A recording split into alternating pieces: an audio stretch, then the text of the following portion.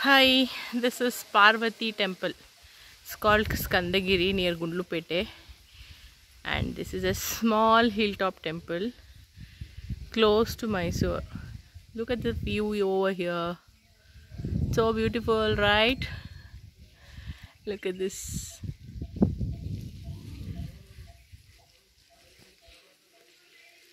Nice place. See, you can climb the steps also to go to the top.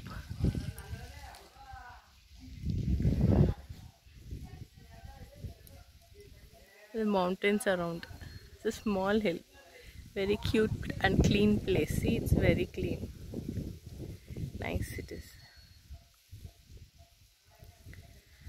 It's an ancient temple, a nearly 800 years old temple.